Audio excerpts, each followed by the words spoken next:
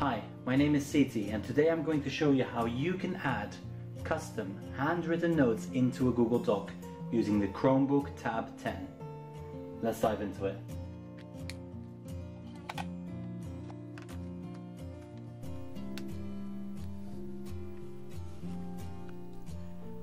As you can see we are now in our main screen. Now I'm just going to slightly adjust the brightness and volume to make it more workable and the next step will be to navigate to our apps. As you can see there's a number of different apps, we also have access to the Play Store, but today we are looking for Google Drive, so let's go ahead and open up Google Drive.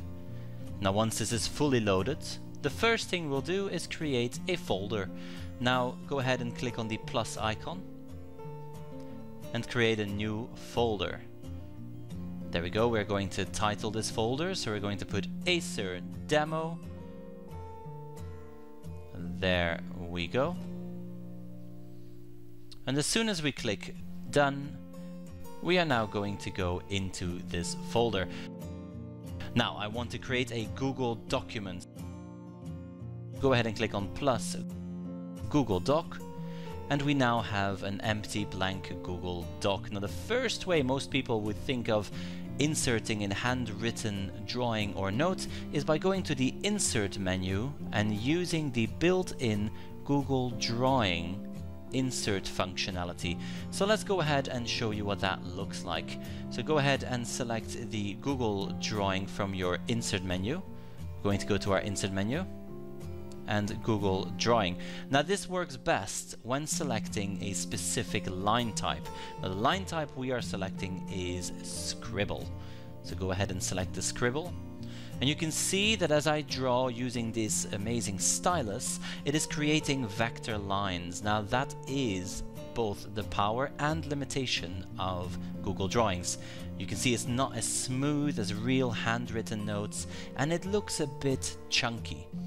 Now, the second way is using the built-in stylus functionality. So let's pull out our stylus one more time and you'll see there's a little pop-up menu that will pop up and we are going to click on the Keep Note. This brings us to Google Keep and now using the built-in stylus we can write a much more realistic text.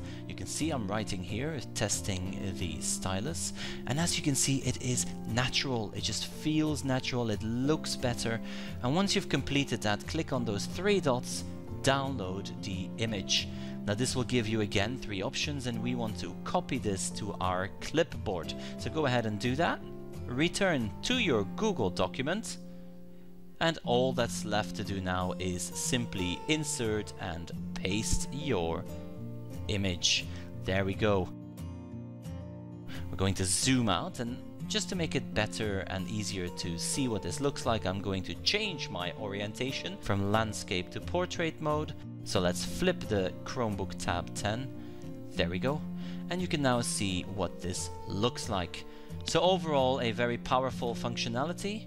It's all built into G Suite and using the built-in stylus of the Acer Chromebook Tab 10, it is made easy for you, students, teachers and anyone else. So I hope you found this very helpful.